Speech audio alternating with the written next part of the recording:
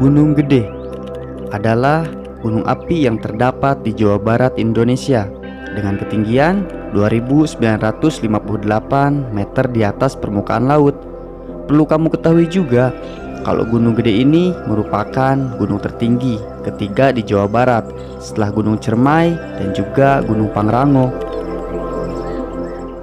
Tanah negeri Tanah negeri ngeri.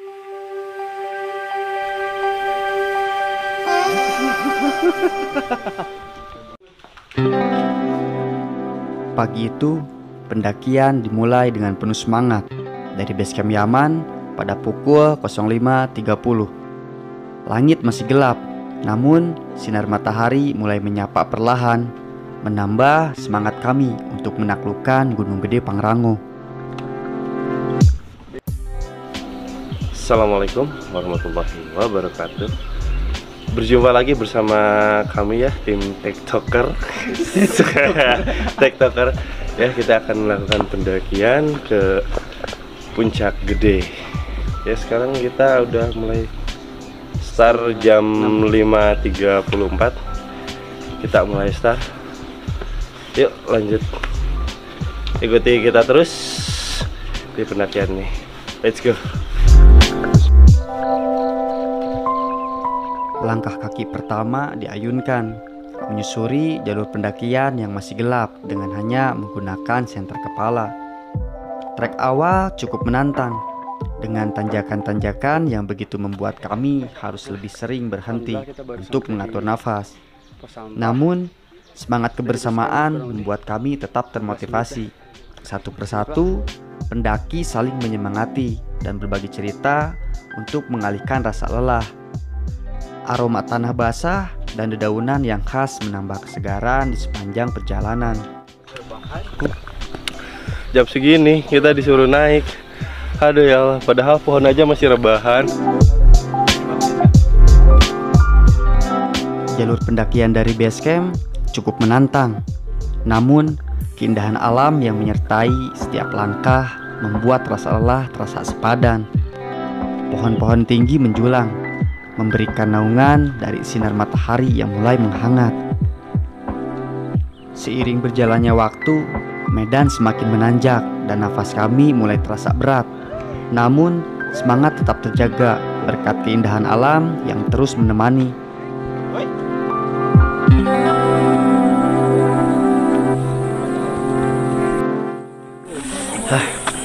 Alhamdulillah. Kita sudah sampai di Tanah Merah. Pos pangkalan ojek. Menghabiskan waktu 30 menit. Lumayan. Pokoknya mah luar biasa, luar binasa. Luar binasa.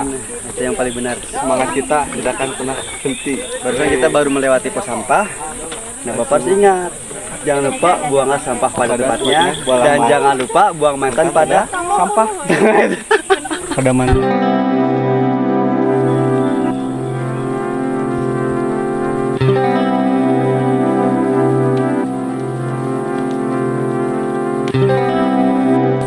Ayo teh capek.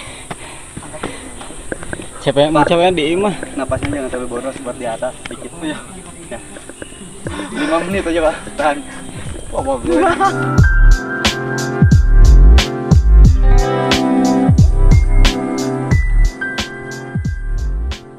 Menjelang siang, kami tiba di pos pertama, di mana kami bisa melihat lebih dekat keindahan Gunung Gede Pangrango.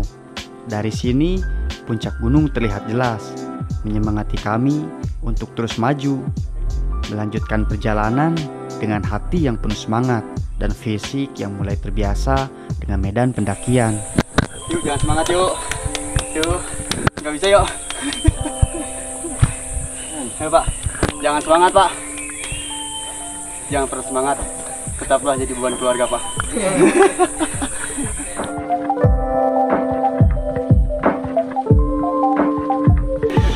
Alhamdulillah kita baru sampai di pos 1 lumayan lah 45 menit pak masih kuat untuk bernapas masih Aman. insya Allah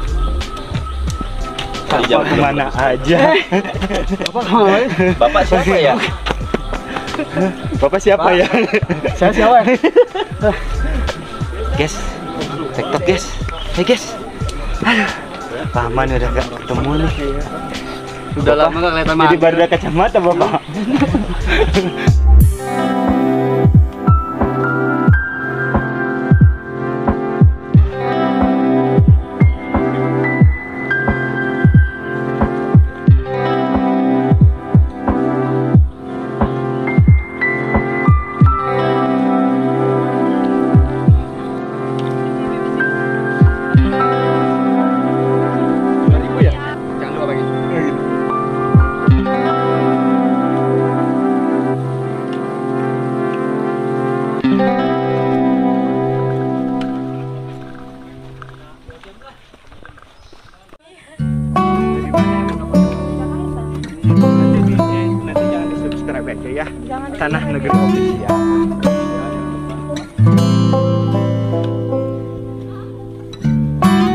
Bagaimana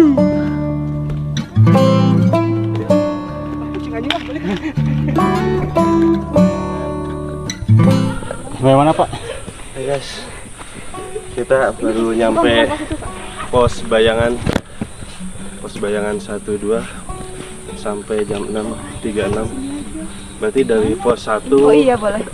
dari pos 1 kita baru 10 menit ya. Mantap. Ikutin terus let's go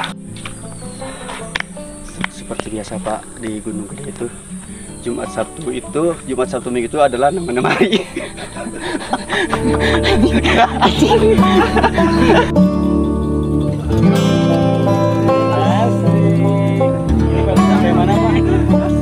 Jadi sekarang baru sampai mana? kita baru sampai pos 2 yang disebut legok Legok Lenca, Pak. Kenapa disebut Legok Lenca? ya ada lenca legok Lenca Karena lenca marurak Lenca. Oh iya. nah itulah biasa mungkin Biasanya. ya Ya udah Pak, Ya, jangan semangat. Oke. Jangan semangat.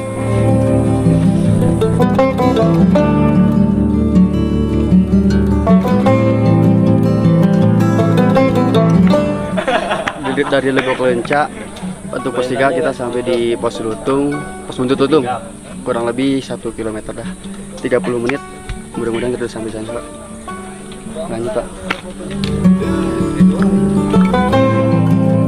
Kita istirahat dulu ya. Di tengah perjalanan, kami berhenti sejenak untuk istirahat dan menikmati bekal yang kami bawa. Pemandangan dari titik istirahat ini begitu memukau. Hamparan hutan hijau membentang sejauh mata memandang, memberikan kami kekuatan baru untuk melanjutkan perjalanan. Padukun. Alam. Ada alam. Usia. Alim ulama. Balikan. Ngok na, ngok na. Ngok. Ngok, ngok.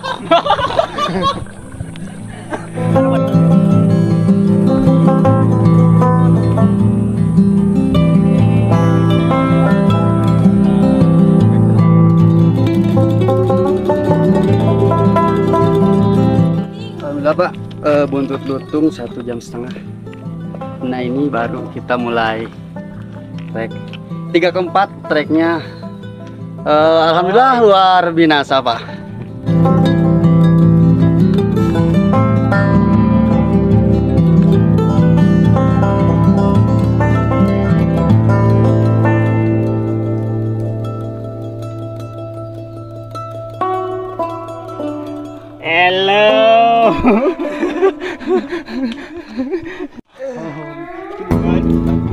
Bantuan na to. Bantuan eh. Bantuan. Dibangun kia. Tangkarun itu gitu. Pantainya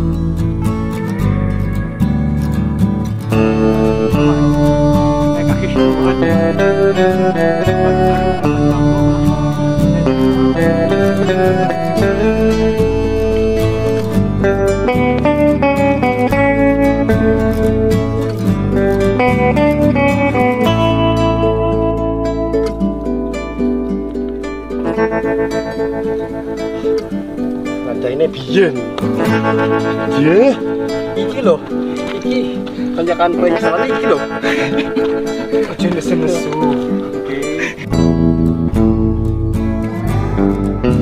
Oke.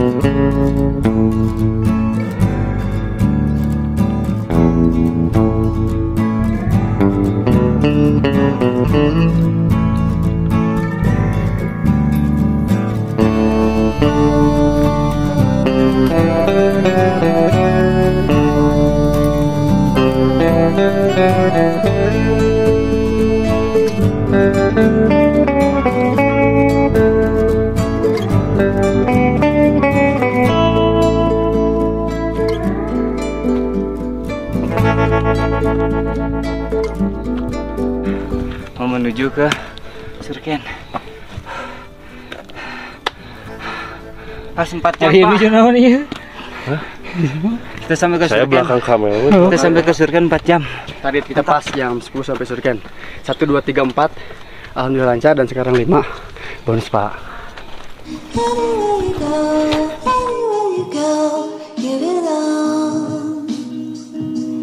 Anywhere you say, anywhere you say,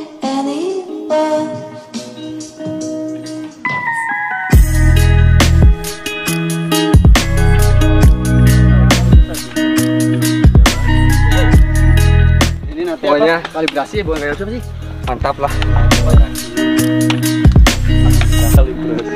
Akhirnya kita udah sampai di Kalibrasi. alun-alun timur dan di sana kita sekarang mau ke barat untuk mencari kitab suci.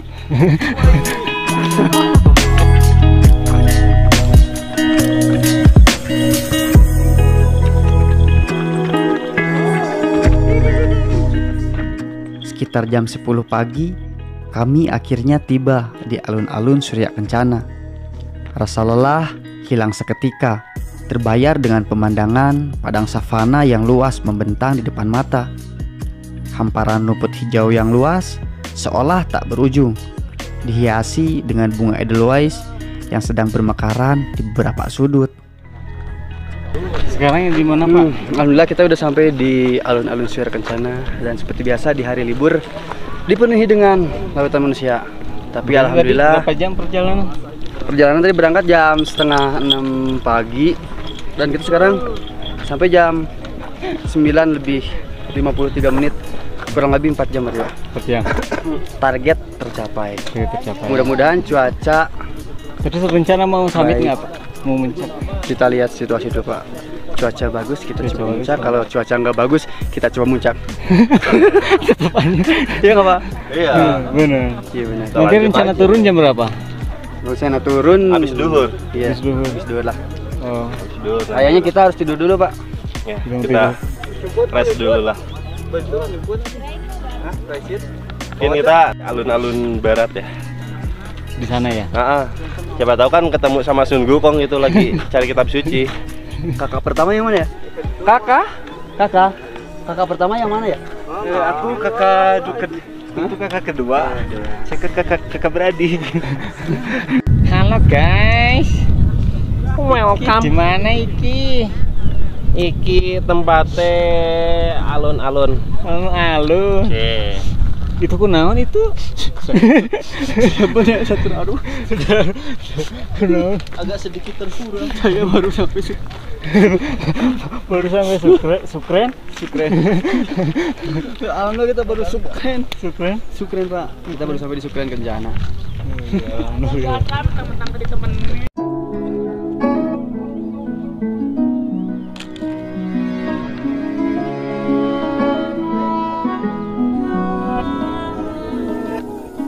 Hamparan tanaman bunga edelweiss yang tumbuh dengan anggunnya menjadi penghias yang sempurna.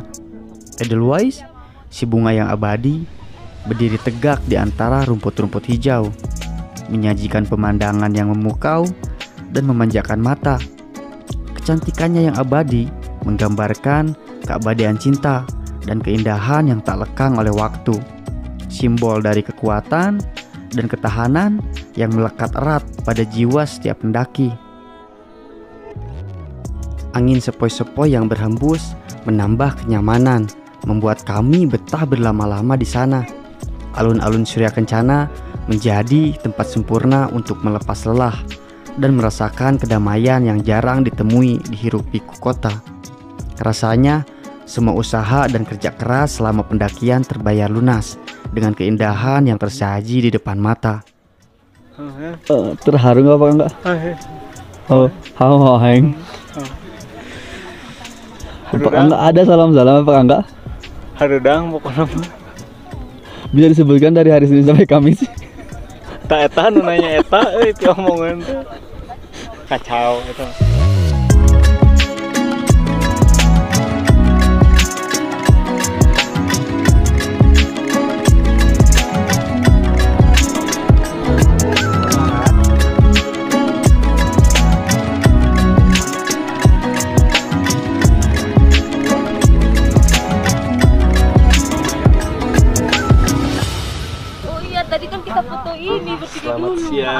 Siang. Surface-nya mana? Bang, Ada di sini. kita ada di- berada di Surken. ya. Ada, Kak. Cuman kita masih di. Surken Timur, kita baru nyampe sini. Aku sangat sendiri ya. Ah, ini ada teman-teman pendaki lain. Kita wawancara juga yuk. Yes. Hai kak, selamat siang kakaknya. Nih kakaknya dari mana ini? Kita beda-beda nih ada yang dari Jakarta Utara, ada Ah. dari Pik sama ada dari Bekasi. Dari Bekasi, oh jauh-jauh ya, jauh-jauh teman. Nih tadi ya pas dari pendakian, nih kesan-kesannya gimana sih kak? Udah kita nyampe Surken gitu, Seru sih. Seru sih. seru Makanya ya. ini baru pertama kali kita bertiga. Oh, makanya kali. first time nih. Ya, aku First first time. Iya, kalau kita dapat eh, adrenalin yang berbeda sama Ya. ini ya. Kalau sebelum-sebelumnya gunung yang lain kan kebanyakan landai. Oke. Kalau ini lumayan. karena emang baru pertama kali juga ya. Pertama. Uh, tapi di sini view-nya bagus banget sih. Iya. Ini kita juga mau lanjut lagi. Kayak surga dunia nggak sih? Iya betul. Surga tersembunyi sih. Iya, betul. Eh, nanti ini kita lanjut ke alun-alun barat ya. Iya. Iya. Rencana mau summit juga. Iya. Kita sambil nggak sih? Sambil sambil Ya, sampai nih. Masih cukup ya? Masih cukup. Masih cukup ya.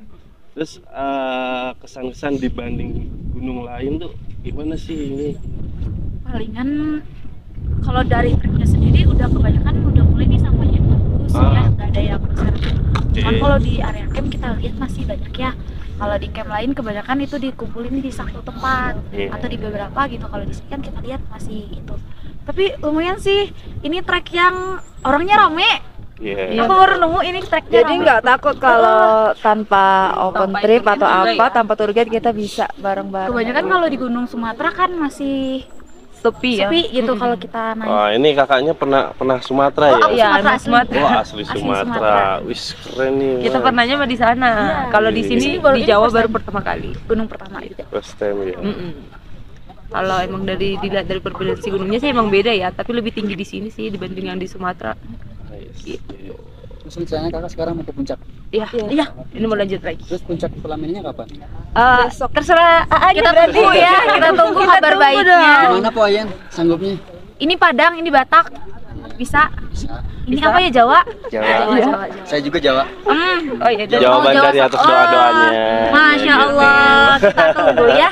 Semoga habis ini kita bisa bisa turun, cuaca bagus. Hmm, Ya, doain mudah-mudahan ya. cuacanya bagus ya gitu. Dan kemungkinan bakal balik lagi ke sini sih. Ah ya sip. Nggak pernah bosan berarti nggak kapok ya? ya, enggak, enggak enggak kapok, kapok enggak kapok ya. sih. Suka.